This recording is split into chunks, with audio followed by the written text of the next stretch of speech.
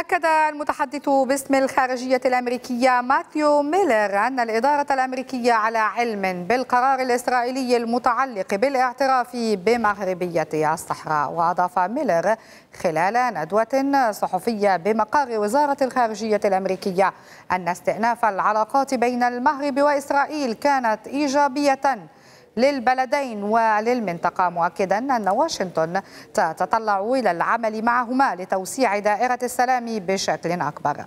المتحدث باسم الخارجية الأمريكية قال إنه ليس لديه أي تعليق على قرار الحكومة الإسرائيلية. وفيما يخص الموقف الأمريكي أكد ميلر أنه لم يتغير منذ الموقف الذي تم الإعلان عنه في دجنبر 2020 خلال ولاية ترامب والذي أعلن آنذاك اعترافه بمغربية الصحراء.